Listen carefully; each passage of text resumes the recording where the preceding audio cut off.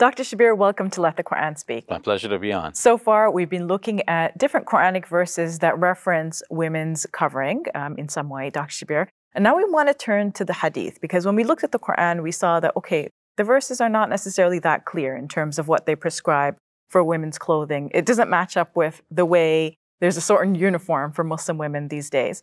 So, Dr. Shabir, when you look at the hadith, is it clearer um, in terms of what Muslim women should be wearing?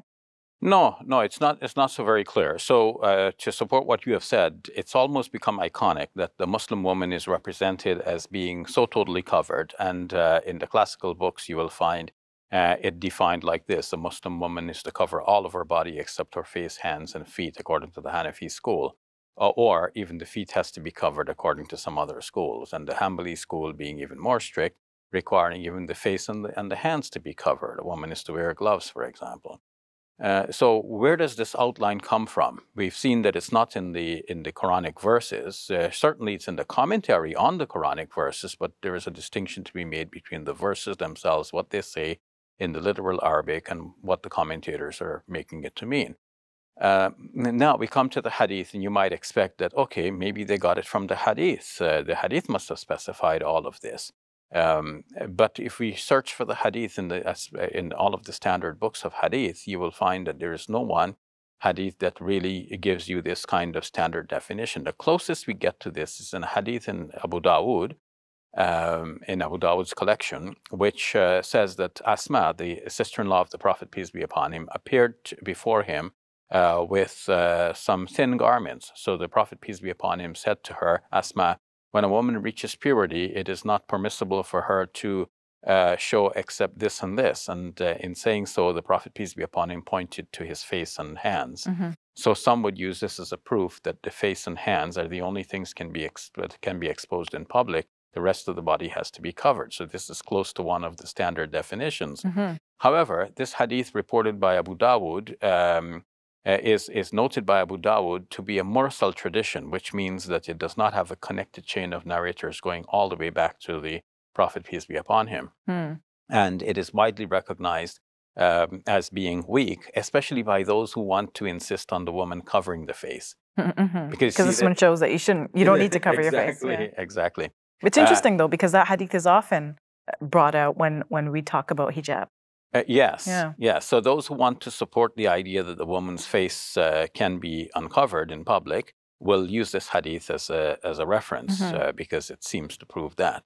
Uh, now, uh, the the other camp who want to argue that uh, th- those who want to argue that the face should be covered will say that this hadith is weak, and they seem to have a, a good point here because the in terms of the chain of narrators, uh, there is a problem. Okay. Uh, but they will also add that even if we accept the hadith as being sound, uh, it must have been a reference to something that happened before the time when the hijab uh, came to be mm. instituted in Muslim communities. So they have this idea of, uh, you know, uh, prior to the hijab verse being revealed and after the hijab verse being revealed.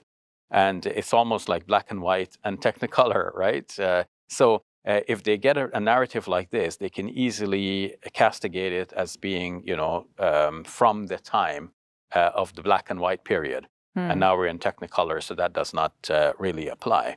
And so too, they will uh, relegate uh, some uh, other narratives that show that the women were not so fully dressed. Like, for example, narratives that say that um, some of the wives of the Prophet, peace be upon him, were there in the battlefield uh, helping the soldiers. Maybe they gathered arrows they, uh, that were fallen, they uh, nursed the wounded, and so on, brought water to those who were thirsty. Uh, and uh, narrative says, somebody says, I saw Aisha, the wife of the Prophet, peace be upon him, and her shin was bare. Hmm. so they would say, oh, yeah, but this happened in the black and white phase. That doesn't apply anymore. That's not the going rule. The going rule is what came in the technicolor phase. Uh, but uh, even if um, you you try to do that with the hadith, you must bear in mind that the, the men who were narrating this, uh, if they were in the, uh, the color phase and they realized that this is from the black and white, uh, they, they shouldn't have been narrating this kind of detail because it means that they have the imagery in their minds of the woman in that state of undress and and they're comfortable narrating that. So rather, you know, it didn't make any difference. Like, okay, they were there gathering arrows. Why do you have to describe uh, uh, their attire if, uh, by your present standards, uh, that that would be uh, deemed an mm-hmm. indecent type It would confuse attire. people too, right? Exactly. So probably yeah. they would provide some context and say this happened before the mm, revelation. That's right. right. So the way I, I piece together all of this is that, Safiyyah, I see that there is an evolution in Muslim thought about how the Muslim woman should, should dress. Uh, the, the verses, the Quran came and left the matter vague. Hmm. Hadiths uh, were uh, narrated and eventually collected, and the matter was still vague. But eventually, uh, Muslim commentators went back to the verses of the Quran and they tried to give things as literal a meaning as possible. So they looked at the Surah 24, uh, verse 31 verse, and they uh, they, they, they saw that it said, okay, let the woman not reveal of her ornaments except what ordinarily appears.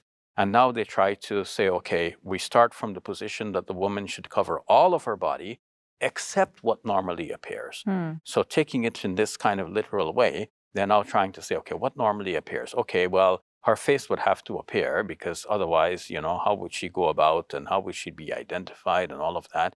Her uh, somebody says, but her hands have have to appear because if she's buying and selling, you know, the hands have to appear. So you know, whatever ornaments are on her face, the nose ring, for example, whatever is on her fingers, maybe a ring, all of that would become exposed, and that's not indecent because they're starting with the idea that all of the woman must be covered mm-hmm. and then accept what has to mm-hmm. appear. Uh, and, and so this is a later idea. Otherwise, if this was an early idea, if that's what uh, Muslims understood from the Quranic verses from the very inception, you would find that the hadiths would be going into great detail and taking it further because the normal pattern is that the Quran says jump this high and the hadiths make it like jump this high. Okay? Yeah. So, so that's the normal pattern. Mm-hmm. In, in this case, we have it that the Quran is not telling you how high to jump and and the hadiths also like is all over the place like scattered. It's not really telling you uh, how high to could jump. it just be because people already knew how to dress? Like they just had a basic sense of you know there, there was an understanding of how they should dress in society in, already? in some in some cases we can assume that you know something is so obvious that nobody is going to mention it. Like you know the prophet peace be upon him had two eyes and a nose. We, we, we don't need a hadith mm-hmm. to tell us that. We, we just know he's a human being. That's what he had but in almost every other thing, like the hadiths go into such great detail, they don't take anything for granted. They don't leave any stone unturned. They explain everything in great detail. In terms of clothing, um, if we look at any one of the classical books of hadith, uh, you know, Bukhari, Muslims, uh, uh, Ibn Abu Dawood, Ibn Majah, Tirmidhi, and Nasai, uh, just to name the, the most six the, uh, prominent ones, the six most prominent ones, they will have uh, a chapter on uh, libas or, or, or, wearing clothing. Mm-hmm. And that's only one of like multiple chapters dealing with all aspects of human life. And then within this uh, whole chapter of which they will call a book, they will call Book of Libas, uh, uh, um, Kitabul Libas. So then within this, you will have so many different hadiths about like the virtues of wearing white. Uh, why men cannot wear something that is uh, that is dyed in in safflower, uh, why a Muslim man cannot wear something that is uh, red. He cannot wear red mm-hmm. red garment and so on.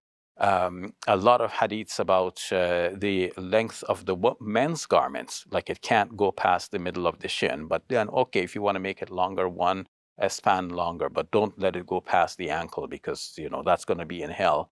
Uh, hadiths about wearing garments out of pride. Uh, so hadiths, so many hadiths about various aspects of of, uh, of garb, and and a lot more about men's garments. Really? Yeah. When it comes to women's garments, there are only a few hadiths comparably, mm-hmm. and and these are very vague. For example, there's a hadith saying that uh, when the verse of hijab was revealed, and and there too we have to clarify that the hadiths are vague as, as to which, which verse right? of hijab yeah. is meant mm-hmm. because the word that, the one that mentions the word hijab is Surah 33, verse number 53, which we already explained mm, before. Which, which is a which is a kind of divider, not necessarily the, the article of clothing. That's right. Yeah. That's right. And uh, and uh, some of the hadiths uh, uh mention the verse of hijab to be Surah 33, verse number 59. That's the one that speaks about jilbab, where the women are told to bring, uh, you know, part of their jilbabs over them. Uh, and some uh, make this a reference to Surah 24, verse number 31, where the, the khimar is mentioned. So it looks like people, you know, the hadiths, as I said, are scattered. People are not so very clear about what refers to what. But anyway, um, uh, one of the hadiths about this that is found in uh, uh, Sahih al-Bukhari says that uh, when the verse, clearly now in Bukhari, it's 24, verse number 31, was revealed, the verse that mentions the khimar, the, the women, the wives of the Prophet, peace be upon him in particular, not necessarily all women, uh, tore a, a, part of their lower garments, mm. uh, yes. you know, towards the hem. Mm-hmm. Uh, so it's the very lowest part, and uh, they uh, they, they they covered themselves. So uh, fakhtamarna is from the word khimar. So it means literally they made khimars of these, but they use them as khimars. Okay, but th- what does it mean? Does it mean that uh, the verse meant to them that the chest area needed to be covered, and so they used those pieces of cloth to cover the chest area. Maybe they draped, draped it around their necks. Or does it mean that they wore it on their heads? When we think of khimar, we normally today think of a head cover. So is that what it meant that they used that as a head cover and it, it was drawn over their bosoms as well, as the verse uh, seems to indicate? So there's some vagueness, but but in, in the light of all these this vagueness, let us not lose sight of the fact that they were able to tear a part of the lower garments, mm-hmm. which means uh, that the, the length of the lower garment is not so very well defined. Mm-hmm. And um, it is even mentioned in another hadith that is in Abu Dawood uh, that uh, Umm Salma, one of the wives of the Prophet, peace be upon him, mother of the believers, uh, says to the Prophet, peace be upon him, you know, okay, so what about women? When, because the Prophet was talking about the men's garment, it has to be to the middle of the shin. And then if you're not satisfied with that, another, you know, go a little bit longer. So the Prophet, peace be upon him, said, okay, for women, all right, so one span more. Mm-hmm. Um, so w- what is the more than what? Like, where, what's the starting point? Is it from the men's garment, middle of the shin, and then one span more? And uh, so Umm Salma says, well, you know, then there will be some exposure. So he said, okay, well, up to a cubit, um, eh, but but not more than that. So that would be something like 18 inches. Uh, but where's the starting point? Is it the knee? Is it the ankle? If, if it's the ankle, it would mean uh, that the dress uh, it's way know, too long. Way too yeah. long. It'll be trailing behind, and you know they didn't have paved streets at that time. They didn't have fabric. They didn't have, well, you know, it wasn't easily accessible. Even, yes, because sometimes you read stories about like you know um, a, a, a, person dies and they don't have enough cloth to cover the, the, the entire uh, uh, body, the corpse. And so they would cover the head with the cloth and, and they would leave the feet, uh, well, rather than leave the feet exposed, they would cover the feet with tree leaves mm. because they didn't have enough garment. So it, we, we shouldn't imagine that life at the time was as it is now. Uh, with all of its luxuries, and we shouldn't think of the women's dress as being so luxuriant to be dragging on the floor behind them as they walked, almost like a wedding gown. Um, eh, so, if, if, we are to analyze this hadith with all of these considerations in mind, you realize that uh, the, the, the length of the woman's garment was not specified, even in these hadith. Not to talk about the length of the sleeves and and um, eh, you know other aspects of the woman's dress um, and so on. So uh, we saw that there is a hadith that would give you that outline, but is declared to be a weak hadith. And this is the normal pattern. Like when you look at hadiths over time, you see, if let's say Bukhari, the most authentic among the six collectors, then you go to Abu Dawud, which is also one of the six authentic books, but not like Bukhari. And then you go to Ibn Majah, which has hadiths that people have said, you know, one or two are, you know, totally out.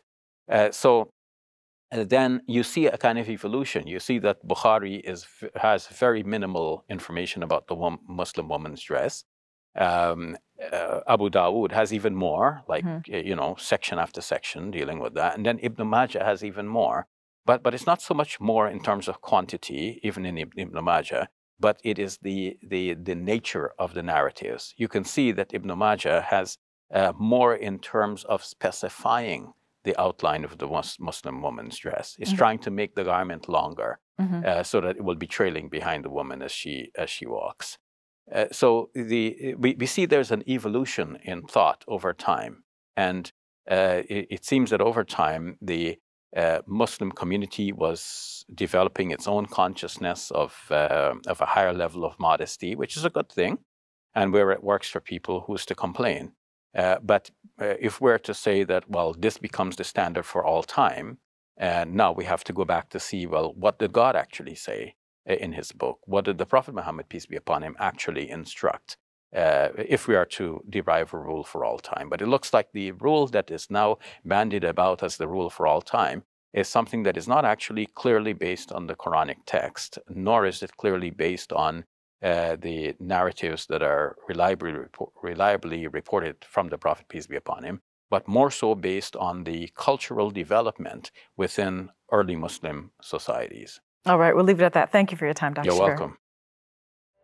Support us today and help us share the message of Islam with people across the globe. Thank you, and may God bless you and your loved ones with the very best always.